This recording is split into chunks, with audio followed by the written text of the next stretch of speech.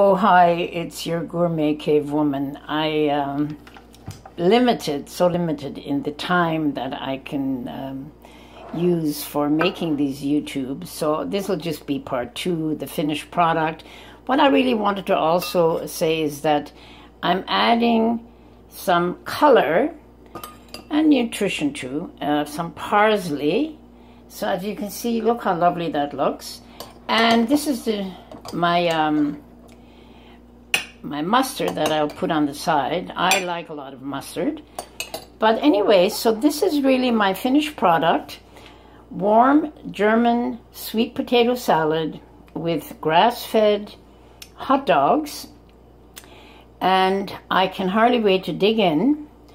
And I think that whatever you decide to use, beef, turkey, chicken, it doesn't matter. But you can even use the warm uh, sweet potato salad for other things. If you're making uh, salmon burgers, um, I highly recommend that you use wild salmon uh, in a can.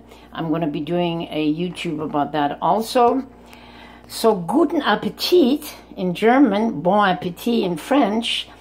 And I hope you really enjoy the meal, and I look forward to seeing you again on my channel. And please don't forget to press the like button and the subscribe button. And please support my channel. I'm in the process of trying to build my brand, Gourmet Cave Woman. Have a wonderful weekend and thank you for visiting my channel. Bye bye.